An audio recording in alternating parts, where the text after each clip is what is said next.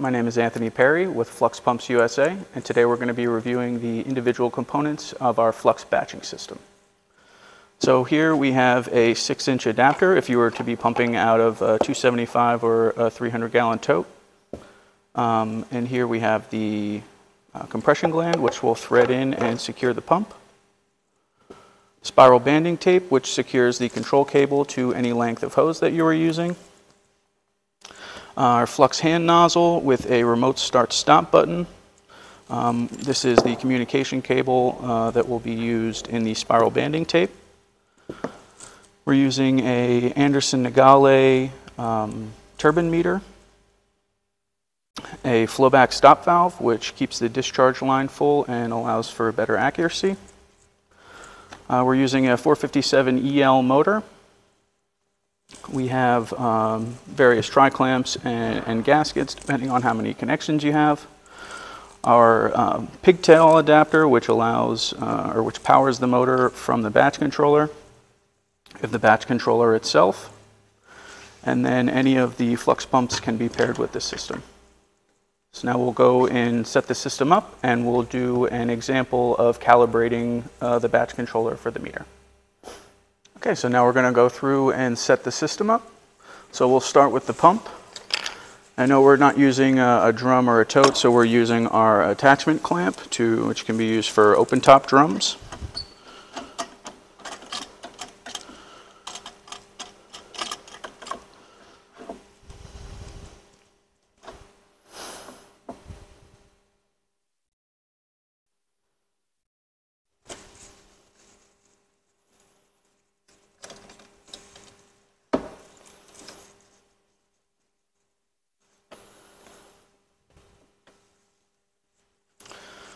And then we'll install our flowback stop valve. And this is just a one-way check valve, so it'll allow flow through, and then the spring closes it and keeps anything from flowing back into the pump or into the drum.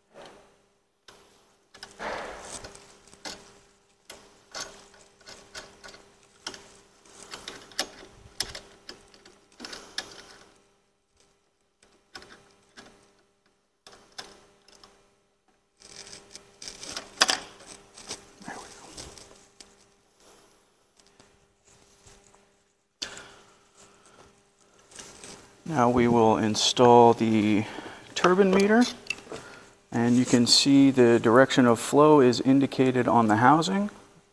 So it's going to flow this way.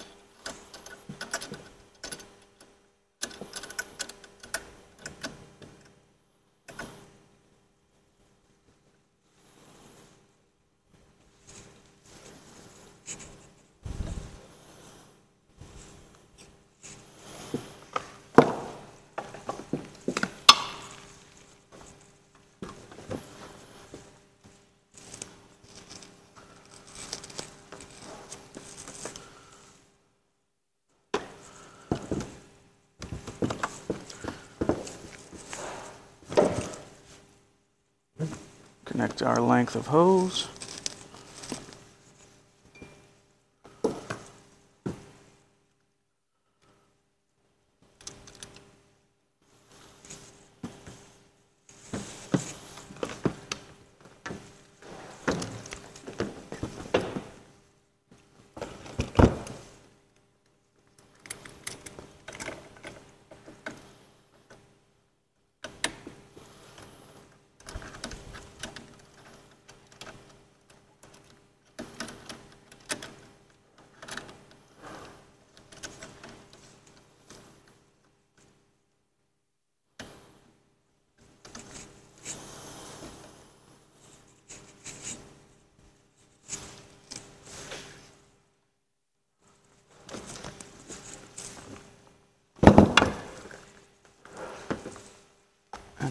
On the far side of the hose, we'll connect our hand nozzle.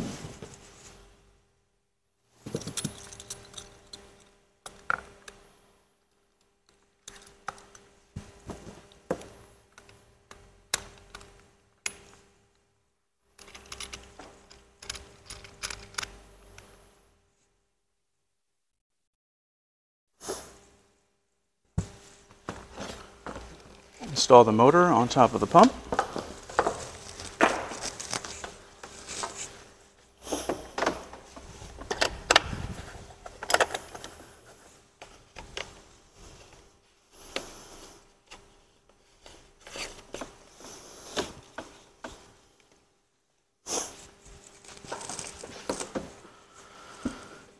And then plug in our cables.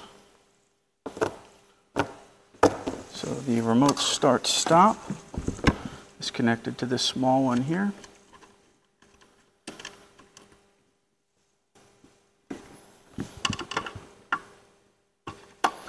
There is an alignment pin, so just set those up properly and then secure with the cap screw.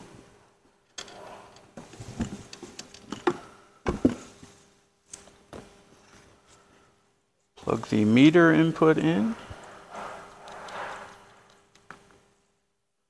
which is going to be this bottom one here.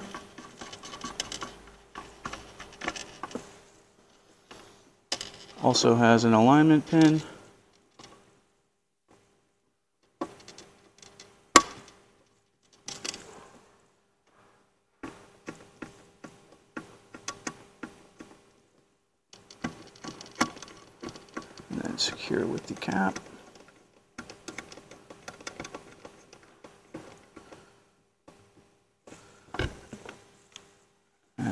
Last connector will be for the motor.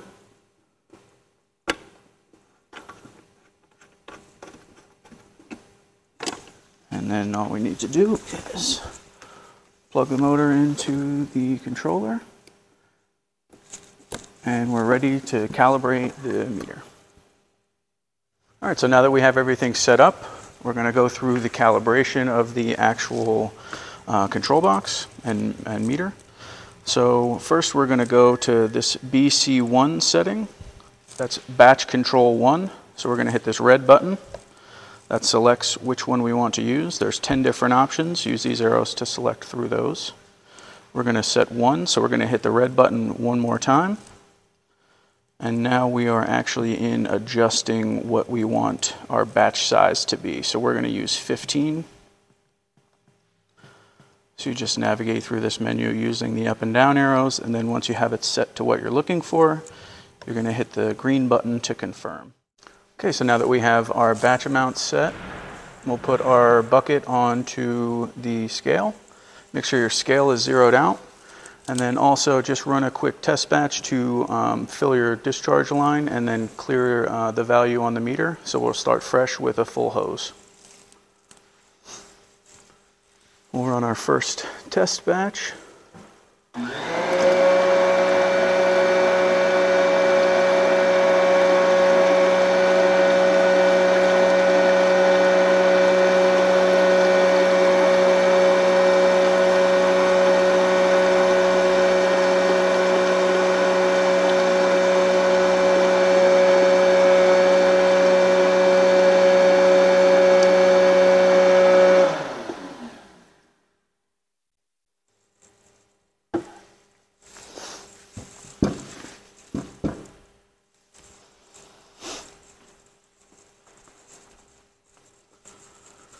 Okay, so now we measured 15.95 pounds. So we're going to use this number to calculate our new calibration constant. And we're going to do that by multiplying the old calibration factor by the value measured and then dividing by the value shown on the meter. So we have 15.95 pounds measured. We have 15 shown on the scale.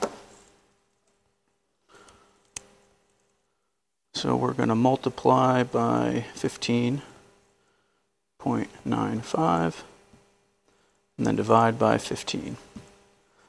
And then we'll get our new calibration factor entered into the meter. We're going to go down to the calibration setting. Select, using the red button that we want to set that. Calibration factor number one. And then set one more time with the red button. And we'll go through and change our factor to 0.038. Nine six one six and hit the green button to confirm and now we will go through and run our second test.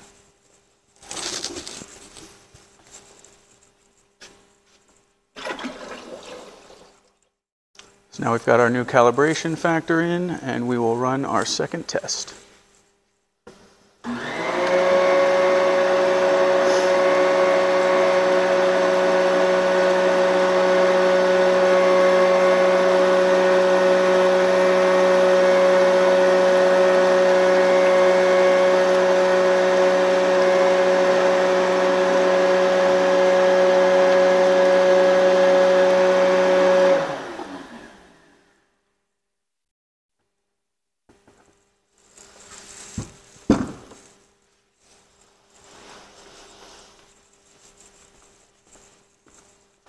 Okay, so 14.6. So we're going to do the same thing. Value measured, 14.6. And divide by 15. So times 4.6 equals divide by 15. New factor is 0.0379222.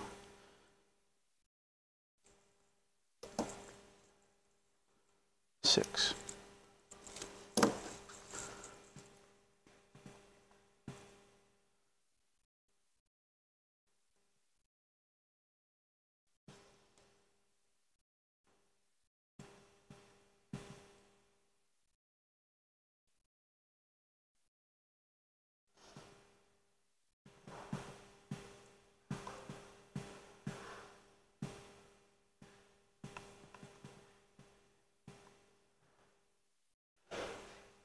Green button to confirm. Now we'll repeat that process a few more times. So we'll go ahead and run our third test.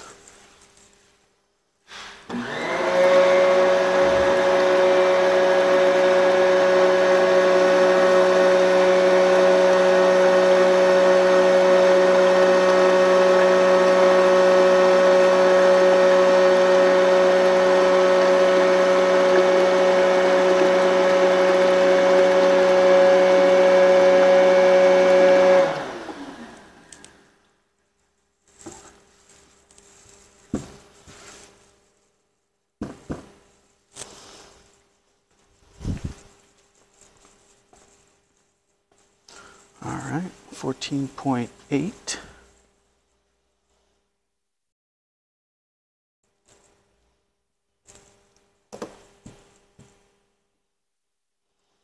times 14.8 equals divided by 15.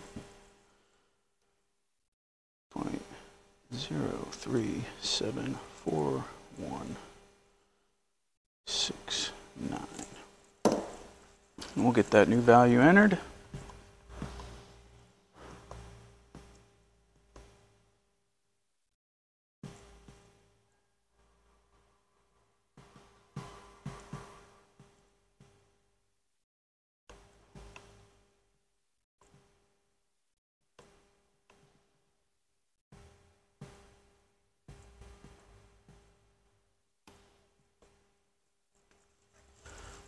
Empty our bucket and do that all over again.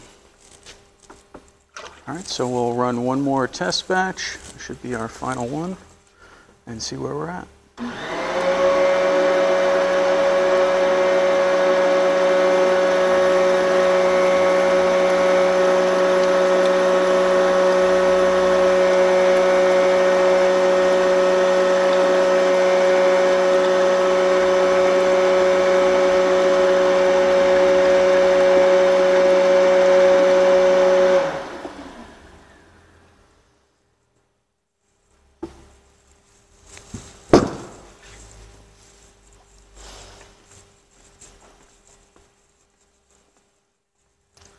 Okay, so we're at 14.9, so 0.1 off of our goal. So we're within the range of the meter,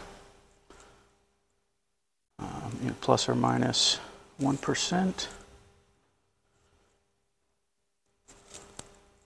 And can empty our bucket, but that is the full calibration of our flux batch controller with an Anderson Negele uh, turbine meter.